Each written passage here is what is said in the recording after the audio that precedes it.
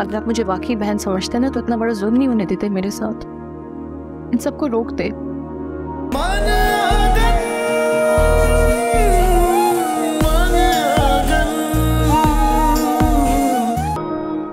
प्यारी है ना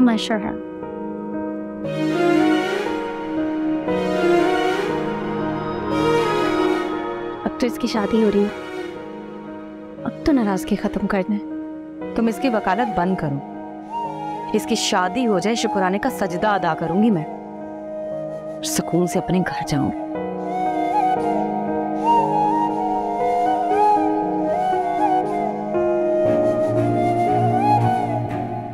क्या बात है भाई कहा जाने की प्लानिंग हो रही?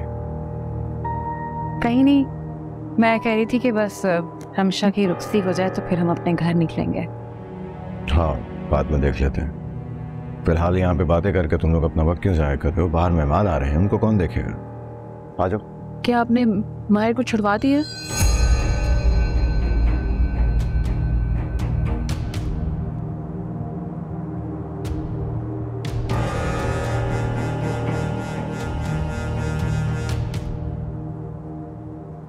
हाँ छुड़वा दिया मैंने। मानो से पूछ लो। हाँ शमशा मुझे आपकी बात पे यकीन नहीं है। हनास भाई, आप बताए क्या क्या माहिर घर आ गए? माहिर घर आ चुका है।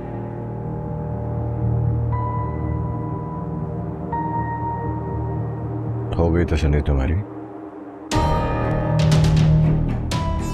अच्छी बात है।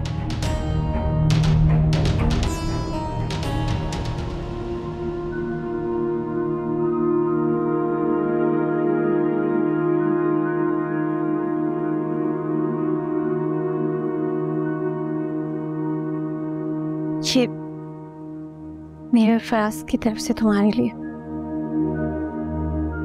नहीं चाहिए मुझे कोई गिफ्ट अपने पास रखें। रोशा ये मैं लेकर आया था तुम्हारे लिए। अपनी बहन के लिए? अगर आप मुझे वाकई बहन समझते ना तो इतना बड़ा जुल्म नहीं होने देते मेरे साथ। इन सबको रोकते अगर मेरी जगह आयमा होती और इसकी शादी किसी ऐसे शख्स से हो रही होती तो क्या आप होने देते?